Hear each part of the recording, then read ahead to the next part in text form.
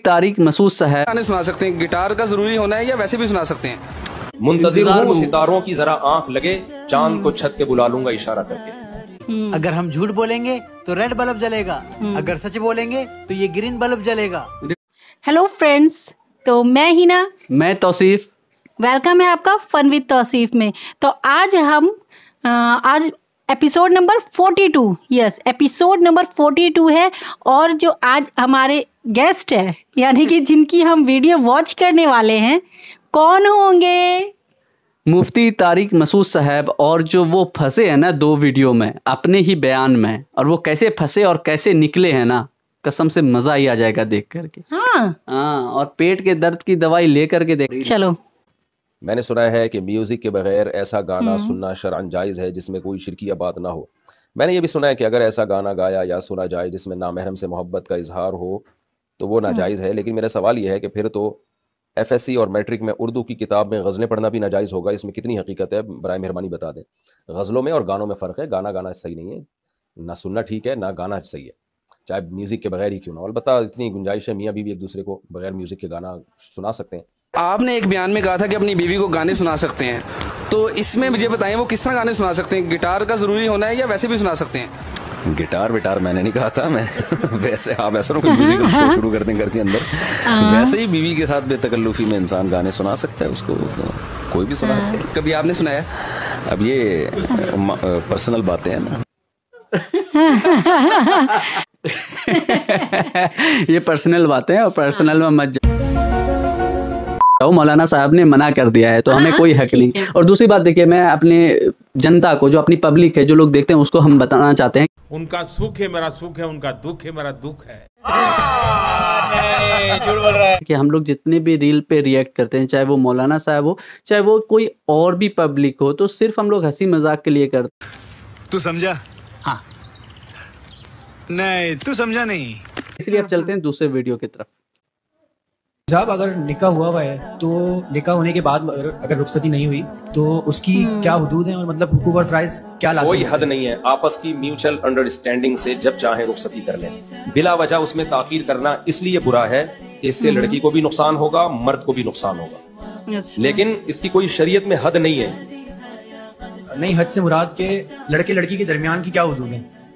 नहीं वो हदूद तो है ही नहीं। जब निकाह हो गया तो एक दूसरे के लिए हलाल है। और उसी तरीके से अगर जैसे मिलना या बात करना हाँ, घर वाले जब निकाह हो गया तो ऑफिशियली रुखसती ना भी हो अनऑफिशियली रुखसती कर सकते हैं। अनऑफिशियल छप्पड़ में बुलाने राहत अंधोरी का शेर है।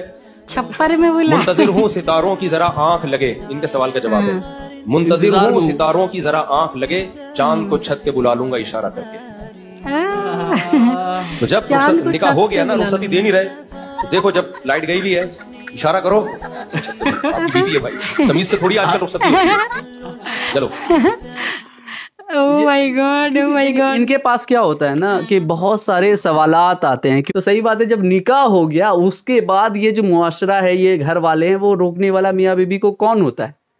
बात और हकीकत में रोकना तो ये भी नहीं चाहिए कि निकाह लेट मतलब निकाह कर दो और उसके बाद फिर आप बेटी की विदाई नहीं करो। निकाह करो विदाई करो भाई। रफा दफ़ा करो What do you mean? What do you What do you mean? what do you mean?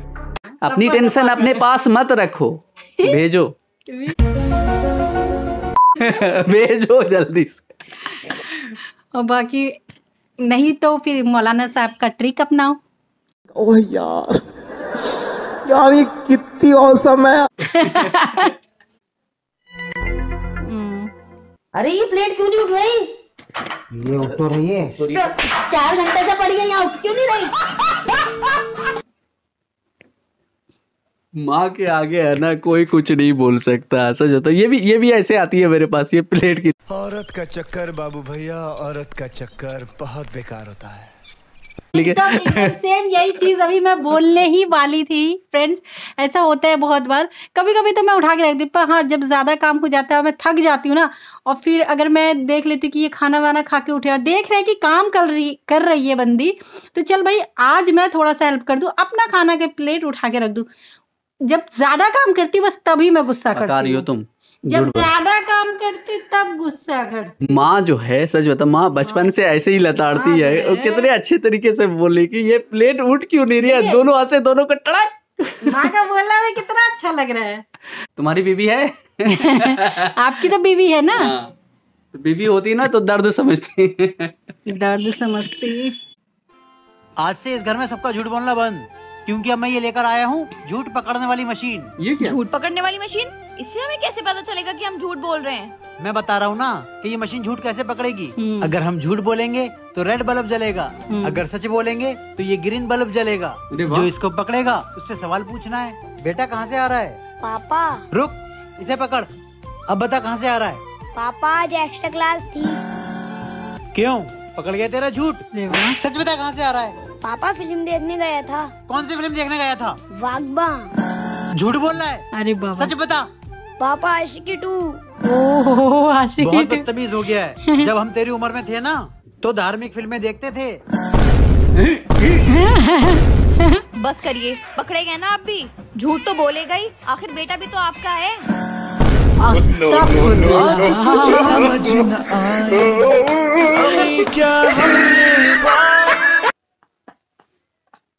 आज का सारा रील मैंने निकाला है। कोई भी ये एक्सपेक्ट नहीं कर पा रही होगी कि इस रील में क्या होगा या और भी किसी रील में क्या हो रहा है। Oh भाई आप लोग कमेंट करके बताना कि मेरा पसंद किया हुआ रील क्या कैसा है? ये तो उससे मेरा क्या फ़ायदा? मुझे क्या मिल रहा है? मुझे क्या दे रहा है कोई? उससे मुझे क्या फ़ायदा हो रहा है? मुझे ये समझ नहीं आ रही मुझे कोई कमेंट तो करके बताओ। मशीन आप लोग चाहते हैं? नहीं। आहा। आ चलो जल्दी से दूसरे हस्बैंड वाइफ पे आते हैं। चलो। एवरीथिंग इज़ टेम्पररी बट मेरे हस्बैंड इज़ प्रेग्नेंट प्रेग्नेंट अरे परमानेंट अरे परमानेंट परमानेंट अरे यार इंग्लिश भी ना कसम से बर्बाद देगा किसी दिन? Everything is temporary but my husband is permanent permanent pregnant ये तो वो मुझे याद दिला दी भाभी जी घर पर है कि अच्छा अंगूरी भाभी। है ना इन जब फातिमा थी होने के लिए और मेरी तबीयत खराब थी तो वो सारे इन्हें भी होते थे इन्हें भी चक्कर आता था इन्हें भी उल्टी जैसा लगता था। तो मुझे भाई ये रील देखने के बाद तो मुझे इनका ही वक्त याद आया। What do you mean? भाई लोग मिलेंगे दूसरे वीडियो में। अलविदा प्लीज़ सब्सक्राइब कर देना लाइक कर देना पता नहीं क्या क्या बोलेगी ये।